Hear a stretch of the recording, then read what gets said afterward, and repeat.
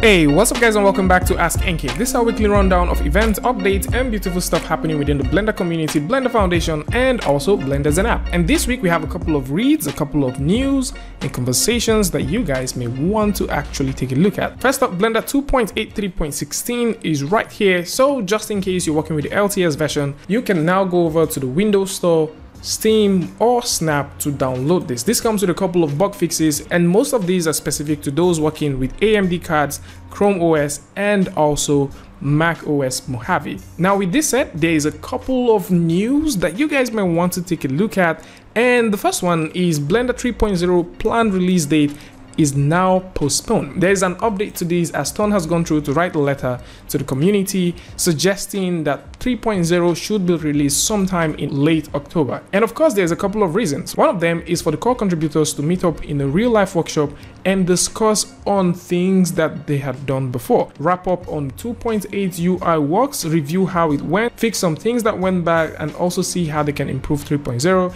And at the same time, he's looking at ways that module team heads can also schedule their work to align with the release of 3.0. So he's looking at a much more clear guideline sort of way for the development of 3.0 and he's also suggesting that new and ambiguous big projects should not be added at any time soon. Aside the projects that are already planned out, he's suggesting that new projects shouldn't be you know brought into the picture at this point so that they could tackle the project that they already have on hand. He's suggesting the time for them to meet up in real life is sometime in July or August owing to the fact that the pandemic is gradually coming to an end and a planned workshop should be coming up in September. So for those who would like to take a look at this, I'm going to put a link in the description where you can check it out. Meanwhile, we found out that there is now a blue hyperlink for virtual reality. So it kind of looks like 3.0 might be coming with a virtual reality, you know, update. Of course, right now there is nothing here, but let's just keep our fingers crossed and believe that something cool will be coming. And while we talk about things that will be coming, let's also review the timeline because right now Blender 3.0 was supposed to be released within the third quarter, but with this update that we've just gotten, it looks more like Blender 3.0 will be released within the fourth quarter, which might cause a ripple effect in the timeline as 3.1 might come sometime early in 2022, but 3.0 update that Tony is suggesting is for the betterment of Blender as a tool in general. Now with that said, there's also a very nice news right here and a pretty cool read that I would suggest everyone to take a look at. And last time which we talked about this folks, the folks at Ubisoft Animation Studio, we talked about the idea of using Blender as an in-studio tool to start creating beautiful animations. And yes, there's a Blender and Rabbids blog or news that you might want to look at and this talks about their experiences, the roadblocks they met, and a couple of things that they've suggested to the community. So first off, they're looking at creating a 70 minutes episode movie, okay? And it's known as the Rabbids Invasion Mission to Mars. And for those who like to read more about the production, I'm going to put a link in the description. I'll bring you right here where you can read about how the Switch, how they dealt with the pandemic, how they dealt with moving from one app to another, you know, based off different uh, digital content creation apps that they've been working on and the flexibilities between these two. Now within workflow and tools, they had a couple of things that were challenges. They wrote a couple of add-ons and one of them is the stamp info which actually gives a couple of details on a rendered image so that they will be able to keep track. They also created another add-on which deals with shot manager and that shot manager does have a couple of features that you might want to check out. And they also created a new add-on known as video track since they use the video sequence editor extensively within the second phase of the production. So some of the limitations that they had was not being able to separate an audio track from a video track. That was one. They also had an issue where files that were rendered or outputs from the video sequence editor could not be used as textures in another scene. Now the asset bank is also something else that they created which has to do with more of an asset browser where they could pull things on the fly. And they also said that asset bank which they created earlier might probably be obsolete very soon with asset manager that is about to come natively into Blender. So we already looked at the fact that they created the mixer add-on, you know, we talked about it, we did a whole video about it and also shared a couple of lights. So just in case you want to see how this one works, I'm going to put a link in the description where you can check that as well.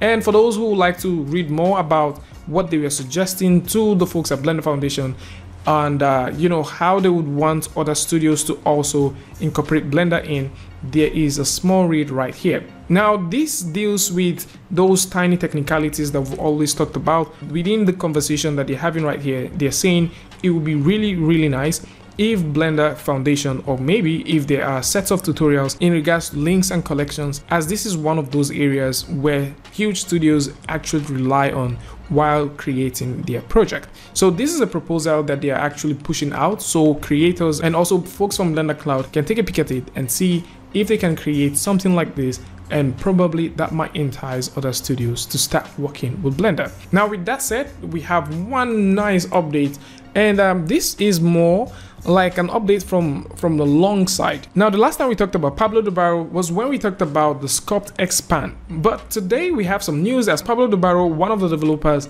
has a beautiful, beautiful blog that deals with asset creation pipeline design. So the idea for this is contrary to asset browser project, he's looking at where final products are actually referred to as assets. You should be able to work with them in Eevee, and in this case, he's looking at performance rather than sizes of data that you can have within your viewport at a given time. Now, what he is looking at right now is ways that Blender would have a much more stable and better performance compared to handling so many data. Now, for this one to be possible, there is also a proposal where there could be a separate window. So in case you're thinking about working with meshes and having high resolution meshes, he's looking at how they can create a brand new window altogether that would handle high polys. So these high polys will probably be isolated from the rest of the scene, which would make the tools and also the viewports and all that features to work in real time. Now, with that said, there's a section that a lot of people are having a conversation about, and that is the modes. So, in order to feed all planned features of the new design, some bigger changes have to be made to Blender in order to properly organize the new workflow. Now, these are some of the modes that are sort of being suggested. And uh, for all object types, there are certain things that has to do with describing their functional purposes in a pipeline. And these are as follows. There's an object mode, there is a freeform, CAD, paint, layout and topology mode, attribute edit and also edit and uh, these are things to actually make blender better. So if you go through this article there is a couple of things that have been summarized. Actually i think one good summary exists right here. So i guess the lie was the person that actually summarize this thing in a much more shorter and easier way to understand. So there's going to be a better synergy between the tools and uh, that is why they're trying to reorganize this thing and change how the workflow would look like. There's also a fully interactive, editable and rendering workflow which is what we saw earlier where you can easily sculpt in Eevee and also take advantage of all of those viewport performances. The procedural and parametric painting with advanced sculpting is also one of the things that they are looking at bringing. Now despite this, the extra thing which was also said right here is the inclusion of a brand new window or a brand new viewport that would handle highly detailed models. So to me, I think this is a this is a good step in the right direction as the folks at Blender Foundation are actually looking at performance, they're looking at how the workflow would be better rather than just heap tons and tons of new updates, new features, and actually not see them through to the end. So beautiful things right here. For those who like to read this one as well, I'm going to put a link in the description that can bring you right here where you would be able to check it out. Now with that said, there is also a couple of updates then right here for Blender. So the sequencer is having a performance update and this performance has to do with image cropping transform. There's also an update to the geometry node. Now you can select a given face or surface by material. There's also a new support curve instance in the bounding box node. And for those who like to work or for those who are currently working with the asset browser, there is now a brand new add option to link assets on drag and drop. So you might also want to come through and take a look at this one. So I'll probably put a link to this so that you guys might be able to see it. Meanwhile, we have something that most of you guys need to check out. So there's a conversation about add-ons policy. So I'm just going to leave this one in the description so you guys might check it out. So the add-ons policies that is going on here, uh, you know, it deals with Will Blender 3.0 be shipping with some of the add-ons? Will they be hosted on the cloud? What are the options that is available? How do you update these add-ons? And all that stuff. What are the issues that might be arising while working with add-ons from different third parties?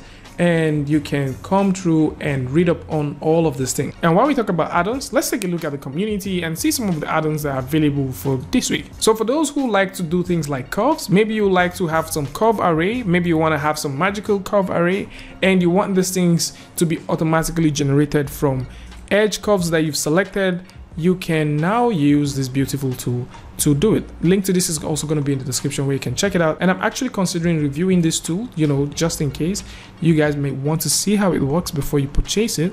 I'm considering reviewing this one and this looks really really really nice. Now something else that looks really nice is the folks at Blender Now have created a new car pack which is known as the city car pack. Now this one is uh, specifically for just city cars and maybe you just need cars that are only rigged. Now I would actually suggest that you proceed to get the full pack instead of getting this one. Of course, depending on what you like to do, my personal preference would be get the entire pack itself instead of, you know, limiting yourself to the city pack. But for those who are into getting just city packs, maybe you just need a city car or sets of city cars, this is better off as you would not spend as much as you would be spending while trying to get uh, this one right here. Now with that said, there's also a free add-on that you guys may want to check out. So this free add-on is known as Vertex Color and for those who are into assigning vertex colors to parts of their model, this is definitely fantastic and is really really lovely and I would really suggest that you proceed to check it. There's also another beautiful add-on that you might want to get and it's called the DuBlast. Now this DuBlast is for those who like to get animation play blast directly from Blender. This is a free and a cool add-on and of course I'm definitely going to put a link in the description where you can easily download these ones and start working with them. So this is more like it. For those who like to read up on all of these things that we've talked about today, tons of stuff. You want to check out why Blender is going to be released late. You probably want to check on the project that the folks at Ubisoft are working on and maybe you want to read on some of the things, some of the challenges that they have. I'm definitely going to put this link in the description. And for sure, for those who like to read more about the asset creation pipeline design, something Pablo Dobarro is proposing, these are right here so you can do well to check them out. Tell me what you guys think about this one in the comment section. And of course, if you like this video or you learned something from this, you can go ahead and give a like and don't forget to share with a friend. And if you're new here, it's going to be amazing for you to hit the subscribe button and also turn on notifications so that you don't miss next video or the next update. And I'd like see you guys again with a tutorial update. Free Friday, tutorial Tuesday, tips and tricks, things like this. Peace.